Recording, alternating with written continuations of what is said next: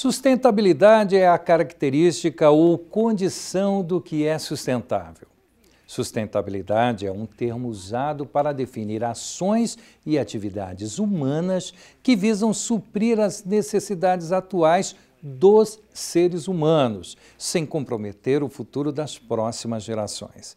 Ou seja, a sustentabilidade está diretamente relacionada ao desenvolvimento econômico e material sem agredir o meio ambiente, usando os recursos naturais de forma inteligente para que eles se mantenham no futuro. O empresário Aloísio Dourado vem nos falar sobre alguns dos produtos que a sua empresa colocou no mercado visando garantir o desenvolvimento sustentável. Está no ar o programa Mercado e Companhia.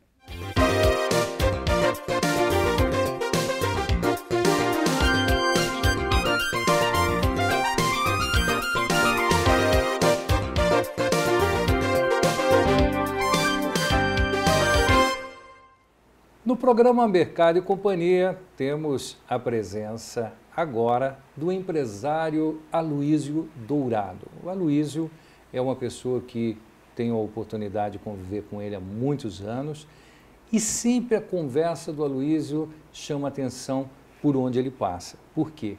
Ele acredita na sustentabilidade. E é por isso que tem criado alguns produtos, colocado no mercado alguns produtos que tem é, revolucionado tanto que estão sendo por demais copiados. Mais ou menos isso, Aloysio? É, mais ou menos isso. Eu, eu, acredito que uma cópia até muito boa, que vem dar um resultado positivo para o planeta, né? Então acho que a, a intenção é essa. Aloysio, quando você fala em sustentabilidade, essa palavra ela foi moda. Tudo se falava em sustentabilidade, tanto se fez, tanto se falou, mas parece que o ser humano ele ainda não sabe é, do real prejuízo e das consequências que brevemente todos nós estaremos sendo cobrados pelo planeta. E você sempre tem nos alertado por onde você passa, pelas suas palestras, é, sobre o planeta que uma hora vai cobrar de nós a forma como nós estamos tratando. É, Val, é, é, essa é a situação, né? Aproveitando o gancho, toda, toda o, os problemas que nós estamos enfrentando hoje passa pela educação, ou seja, a cultura, o conhecimento, né? O Cesumar bate muito forte em cima disso, eu acho isso um slogan muito bom, né? É a comunidade do conhecimento. Então, a sustentabilidade foi considerada um, um nicho, né? É, de moda, mas a gente tem visto que algumas grandes empresas têm feito o seu trabalho, têm feito o seu papel, trabalhando em cima da sua otimização, reduzindo os seus impactos ambientais. Mas o problema maior do planeta é o nosso, é o ser humano em si, é a individualidade de cada um naquilo que faz. Então, em todos os segmentos, o Brasil hoje enfrenta uma crise violenta de identidade, por quê? Porque a cultura falta nesse ponto, ou seja, o conhecimento. E não seria diferente na questão da sustentabilidade e da natureza.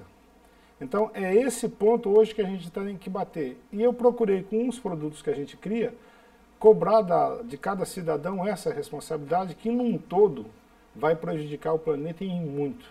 Ou seja, não adianta você colocar a culpa numa grande empresa, é bacana, é fácil colocar a culpa no outro. Sendo que o maior, o maior responsável por isso é você com as suas atitudes no seu dia a dia. Aloysio, recentemente você esteve fazendo uma palestra numa grande rede de supermercado para os funcionários, numa forma de dar conscientização justamente das sacolinhas que às vezes faz muito bem para nós pegarmos e utilizarmos depois essa sacolinha para colocarmos os nossos resíduos e, de certa forma, descartar. E esses funcionários, eles ficaram realmente assim, com a, com a estatística do que você levou, né, esses colaboradores, eles tiveram assim, um impacto pessoal muito grande. Que números foram esses que você colocou e tem colocado em suas palestras para tantos empresários, tantos colaboradores, enfim, para as pessoas que têm tido essa preocupação não só da sustentabilidade, mas do eu responsável?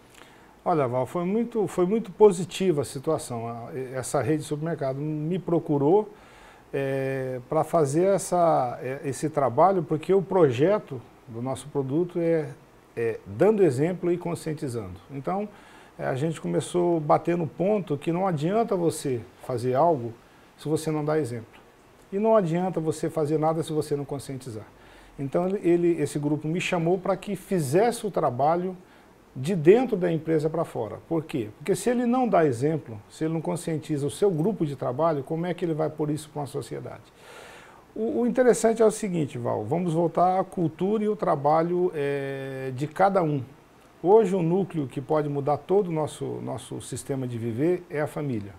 Ou seja, são onde você experimenta as suas primeiras experiências, é onde você tem as suas orientações, onde você tem as suas decepções, é onde você tem as suas motivações. E aí a gente percebe que, num todo, as famílias e o, relacionamento dentro de casa tem sido muito vago muito furtivo. Então não se fala em nenhum mais assunto. E a questão da, da, da, da conscientização do meio ambiente, a gente percebeu que se a gente tocar dentro da casa e tocar principalmente nas mães que têm uma ligação muito estreita com os filhos, ou seja, com a sua prole, você tem alguma condição verdadeira de mudar. Então esses números que são interessantes para colocar para eles. Quando você começa a colocar o impacto de cada um, que vai prejudicar o filho do próximo, mas de contrapartida o impacto do outra, da outra família vai prejudicar o seu próprio filho, eles começam a pensar. Então o número da sacola é uma coisa simples. Ah, o produto principal da, da, nossa empresa é uma sacola retornável. Eu costumo dizer para você que ela não tem muito glamour, ela não tem muito romantismo, mas ela traz um resultado real e imediato quando ela é usada. Então, a questão é o seguinte, hoje você dá um bom dia no meio da rua pedindo alguma coisa, o comércio te retribui com uma sacola. Você entra em qualquer local em comércio, você recebe uma sacola plástica. Então a gente percebeu que um dos maiores elementos de poluição agressiva é esse produto chamado sacola plástica, que parece inofensivo, mas ele é altamente nocivo para o planeta. Por quê? Porque ele não possui uma... uma o, o, meio ambiente não consegue processá-lo de forma rápida. Então ele acaba se tornando um lixo de uma, de, uma, de uma propulsão de tempo muito grande no meio ambiente e provocando danos muito grandes. E todo mundo participa disso. Então, quando você coloca esse número para cada um, eles se assustam. Porque eles imaginam que no universo deles, o que eles estão fazendo é só ele que está fazendo e não vai ocasionar muito problema. Mas quando você coloca um número numa coletividade, a coisa fica preocupante. Então, numa dessas palestras, eu fiz uma coisa muito simples, que é a, é a conversa, é a linguagem direta do exemplo, eu pus um, um, uma caixinha pequena e pedi que cada um jogasse uma esferinha de isopor dentro quando entrasse. Ah, todo mundo fez e não entendeu. No final, eu pedi que cada um olhasse. E todo mundo ficou abismado, porque era uma caixinha que eu identifiquei como fosse o seu bairro. Aí todo mundo, pô, mas meu bairro está cheio de lixo. Eu falei, pois é, quando você jogou a sua primeira bolinha, você não se incomodou, porque era uma bolinha. Mas como todo mundo jogou, você se incomodou e você fez parte e você começou a gozar do prejuízo que essa bolinha fez. Então a sacola plástica é a mesma coisa. E aí você começa a dar os agravantes através de imagens, você começa a colocar o que na verdade acontece quando essa sacola plástica é jogada no, no, num lixão e ela não, não consegue é, processar com a decompostagem. Você joga, você coloca uma imagem quando ela vai para os rios, você coloca ela quando ela passa a sufocar um pássaro, quando ela está em cima de árvore, quando ela está no mar. Então, a pessoa, quando ela se vê diante disso, ela se assusta. E aí você fala simplesmente para ela o seguinte, em todos os assuntos que você pode discutir, você pode mudar. Ou seja, politicamente você não gosta de um, de um determinado candidato, você muda de partido e em um tempo você pode mudar aquele contexto. Você não gosta de uma escola, você troca teu filho. Você não gosta de um produto, você pode substituí-lo. Mas na questão do meio ambiente, o primeiro, a partir do momento que você o prejudica ou destrói, você não tem como voltar. Então essa conta vai vir para você uma hora ou outra. E aí no final eu tocava num ponto, eu falava, o pior não é você colocar o seu legado à morte, é você colocar o seu legado futuro ao sofrimento. Tá porque certo. pela morte você encerra. Nós vamos a um breve intervalo, eu estou conversando com o empresário Aloysio Dourado, e nós temos certamente mais dois blocos para conversar com você sobre sustentabilidade, sobre esse impacto que nós certamente estamos provocando no meio ambiente e que o meio ambiente vai uma hora cobrar, como a Luísio disse. Eu volto daqui a pouquinho.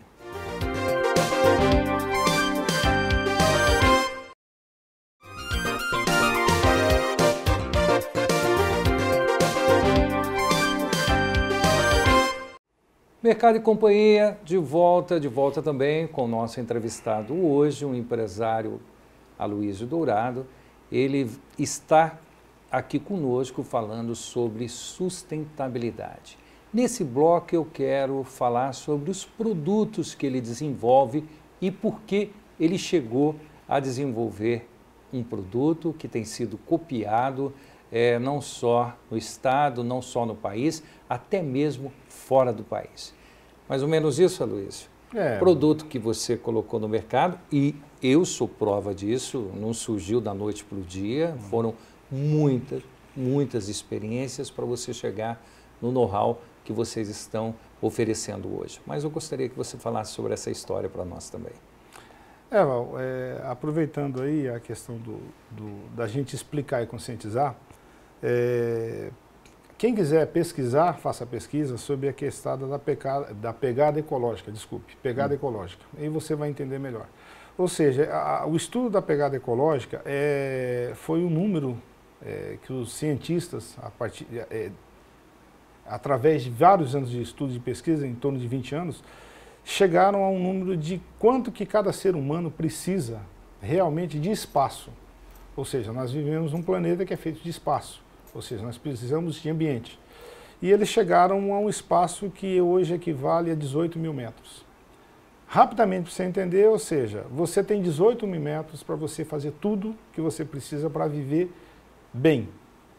Então, ou seja, nesses 18 mil metros você vai construir a sua casa, você vai plantar a sua comida, você vai criar o seu gado, você vai ter o seu peixe, ou seja, você vai colocar nesse espaço, em cada pedacinho dele é aquilo que você necessita para sobreviver. Primeiramente, a vida primária, ou seja, a vida é, substancial, que é o alimento, que é a, o elemento de vida primordial. Depois você vai se aventurar a colocar o que é conforto. Mas você vai ter que se lembrar o seguinte, você tem 18 mil metros. Você não pode invadir o espaço do outro, que senão você vai estar provocando, inclusive, um, um, um conflito. E isso é interessante porque nós estamos extrapolando demais e de longe esse espaço. E fora isso, toda movimentação humana provoca um, uma extração do planeta. E o pior delas não é o que você faz o extrativismo para você viver, é o que você faz de devolução para que o planeta processe. Então, a sacola retornável, voltando, que é esse produto que você me, me, me perguntou, a gente acabou estudando ela que ela teria que ser feito um produto de ótima qualidade. Então, como você falou, virou moda falar sobre sustentabilidade. Então, algumas empresas confundiram isso.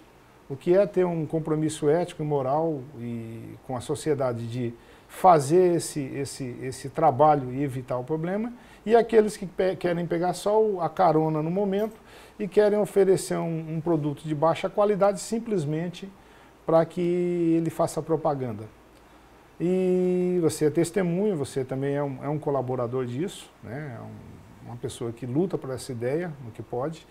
É, eu evitei muitos negócios, eu não fiz nenhum negócio nesse ponto quando o cliente falava nesse ponto. Porque eu falava, ou você faz um trabalho com a sacola de boa qualidade para que ela possa ficar o máximo sendo utilizada, ou você não o faça. Porque então você não está fazendo nenhuma campanha de orientação ou de conscientização você está fazendo uma propaganda do teu produto. Então vá lá numa gráfica e faça panfletos e distribua. Pelo menos você está sendo mais ético, mais honesto. Então a gente desenvolveu um produto, a gente pesquisou e a gente desenvolveu um produto que tem uma boa qualidade e uma, uma, uma condição de ficar mais tempo sendo utilizada. Porque o que eu quero explicar é que sustentabilidade retornável são palavras assim. O retornável é aquilo que você pode criar e substituir um outro produto e ele possa é, reduzir o uso do outro. Então ele não é nem orgânico nem é natural. Ele é um produto mais resistente que reduz o impacto do outro. Então a sacola retornável tem que ser isso. Quanto mais resistente, quanto ela melhor, quanto mais acabada ela for, mais tempo ela fica e mais sacola plástica ela tira. Então a gente foi copiado por isso, porque a gente foi criando detalhes e criando reforços para que essa sacola tivesse uma durabilidade no mínimo de três anos. O que é inadmissível no mercado hoje de venda.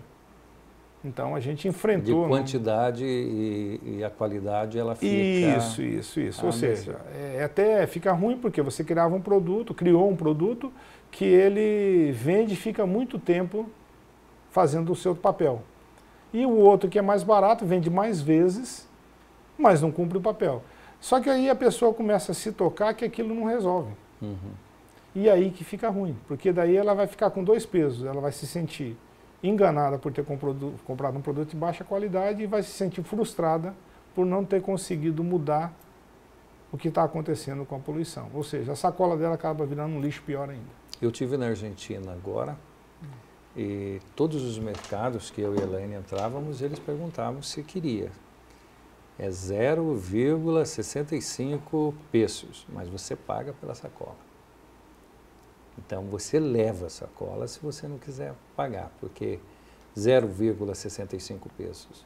Hoje é, é um valor. Imagine você ir no mercado, quantas vezes, quantas mil pessoas passam no mercado, quantas coisas não acontecem quando você começa a, a tributar mais né, o produto, a sacola, o plástico, esse produto que você mesmo diz que é realmente é, impactante né, no, no, no, meio ambiente. Mas eu vou falar mais de produtos com você logo após um intervalo. Estou conversando aqui com o Aloysio Dourado, ele é um empresário, um empresário que viu no segmento da sustentabilidade algo que pudesse auxiliar o planeta. Logicamente que tem todo o interesse de estudo e de pesquisa, é, ele, a equipe dele, é, com todo o cuidado possível para que o produto não tenha um peso futuro como mais um produto a ser descartado no meio ambiente. E é sobre isso que a gente vai conversar daqui a pouquinho, logo após o intervalo.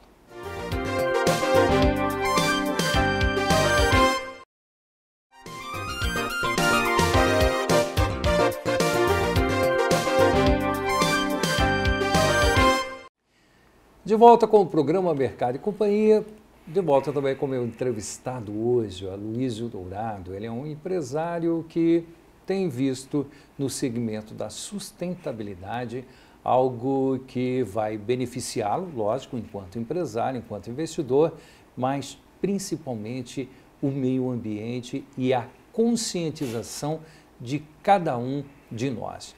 Aloysio, nós tivemos há um ano e meio, dois anos, algum, algo, algo é, sendo feito proibindo até mesmo, eu estive em, em dois vizinhos e, e, lá tinha uma lei proibindo a entrega da sacolinha, era algo que começou a ser é, melhor discutido nos municípios. E teve uma história em São Paulo com um deputado que ele bateu de frente nisso daí, falando do Código do Consumidor, porque não podia cobrar, porque tinha que dar, porque algumas coisas, mais, você sabe muito mais que eu sobre isso. Mas nós perdemos uma grande oportunidade de darmos, de contribuir, cada um contribuir mais é, com o meio ambiente.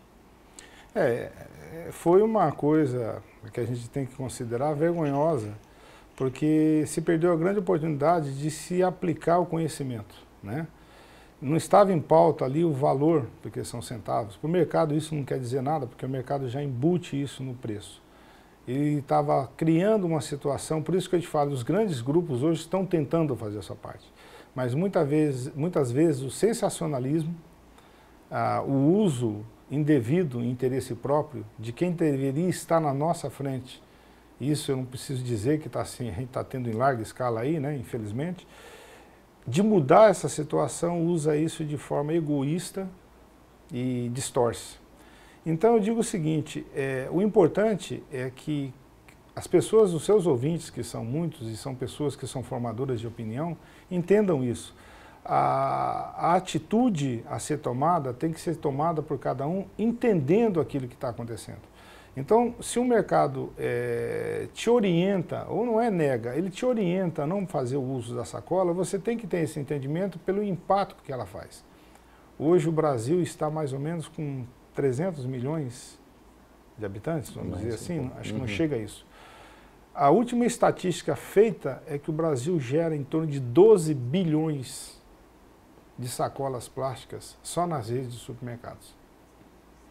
Então você veja o absurdo. Ou seja, essa sacola plástica, ela está indo para os lixões, está indo para o meio ambiente e ela está se acumulando. Então a gente faz uma conta simples. A sacola foi introduzida numa forma de agilizar o comércio, ou seja, é, isso é psicologia pura de venda, é, colocou em nós aquela mentalidade de como animais predadores, de que a gente carrega o máximo aquilo que a gente pode. A gente carrega a caça de, pelo tamanho que a gente pode carregar. A gente caça ela pelo tamanho que pode carregar. A sacola foi isso. Foi um facilitador dentro dos locais, naquela época, para que as pessoas consumissem mais e tivessem possibilidade de carregar os seus produtos. Então hoje, acho que a, que a gente tem que ter essa consciência que a gente não precisa mais disso. Uhum. Então a gente tem que ir lá, conscientizar, estudar e falar, pô, isso aqui faz mal. Isso aqui vai trazer um processo é, destrutivo e já está destrutivo no planeta há muito tempo, que fazem 40 anos que ela já existe em produção de larga escala, e já contaminou mares. Quem quiser fazer as pesquisas, pesquisem sobre os mares de plásticos no mundo, já destruiu ilhas, já está acabando com o ecossistema em várias é, partes de manguezais. Ou seja, ela está colocando realmente em risco a vida humana sobre o planeta. Então, se perdeu uma grande oportunidade de falar, gente, não é pelo valor, gente, é pela consciência de não destruir. Nos alagamentos que tem em São Paulo e tem em todo o Brasil, você pode observar que o que faz a, o entupimento de toda a rede pluvial não são os lixos orgânicos. Eu desafio, olhem todos vocês, são sacolas plásticas. Você vê ela boiando e ela já entupiu as adutoras, ela entupiu as bocas de lobo e ela provocou o alagamento. Uhum. Então não é muito difícil você raciocinar e refletir sobre isso. Então o que eu espero é que as pessoas que possam formar opinião, além de dar exemplo, possam orientar e procurar passar isso de uma forma melhor dentro de casa ou no meio do seu convívio. Luiz, o nome da tua empresa, como as pessoas podem entrar em contato com você para suas palestras, para os seus encontros que você sempre tem levado essa conscientização ou a sua teoria né, de como a gente pode auxiliar o planeta? O, o, o nome da nossa marca é, na, é, Frente à Natureza. Frente à Natureza, um momento único. Ela, é, esse nome é sugestivo para que você fique de frente à natureza e contemple ela de uma forma melhor. O nosso site é frenteanatureza.com.br. Então você pode entrar ali, vai ter os links de, de relacionamento, tem os produtos para vocês olharem e qualquer dúvida a gente está inteiro dispor lá, Val. Uhum. Pra... Porque não são, não, os teus produtos não se resume só a, a sacola, como a gente não, veio falar, né? Não, sacola retornável. São inúmeros e Hoje os seus maiores clientes são os turistas que vão à Foz do Iguaçu, Isso. porque muitos já têm essa consciência e estão levando esses produtos para fora do país. Por isso que no início do programa eu falei que alguns países já conheciam os produtos que você criou. Então, é, camisetas, é, é, mochilas, enfim, lenços, né? tem muitas novidades que as pessoas podem é, ter contato ah, por intermédio aí desse é, do nosso site. do site, né? Mais ou menos isso? Isso, isso, isso. Eu já te falei três vezes já, mais ou menos isso. Por quê? Porque você é, é, o, é o pai do conhecimento aí, né? Eu sou apenas um admirador desse seu trabalho, vendo o que você tem feito e, logicamente, apoiando da forma como a gente pode. Mas a sacola continua sendo o carro-chefe.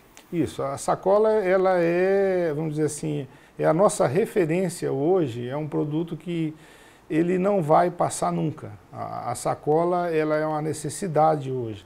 Então eu quero deixar claro que a frente à natureza ela não tem só uma preocupação de vender produto não. Se houver algum colégio, eu tenho feito um trabalho bem legal com os colégios, uhum. para que a gente possa ali trabalhar, é, orientar, dar uma palestra se for necessário, oferecer um material, né, para que principalmente as nossas crianças comecem a ter uma conscientização sobre isso. Então a Frente à Natureza está a dispor para que possa ser feito isso também na, no âmbito de orientação e de educação. Tá certo. E se quiser, né, temos aí algumas oportunidades é, de mostrar. Enquanto você estava conversando, nós colocamos aí algumas fotos de produtos e se você tiver alguma ideia de desenvolvimento, tiver a ideia, falar com essa pessoa aqui que ele tem esses tempos, é, nós é, trouxemos alguma, algumas é, matérias-primas é, de uma viagem que eu fiz aos Estados Unidos. Em sete dias ele foi e trouxe a nossa versão do Piriquim, que deu resultado também mas o importante é isso, né, Luiz? É a gente isso. tem essa consciência que a gente pode mudar e começando, lógico, a mudar por nós mesmos. Né? Obrigado, meu amigo. Eu que Sucesso para você e certamente nós teremos algumas pessoas entrando em contato e eu quero mesmo que chamem você, conversem, porque isso aqui foi só um pedacinho de tudo aquilo que a gente tem conversado há muitos anos. Isso. Tá certo? Isso. Parabéns mais uma Muito vez. Muito obrigado.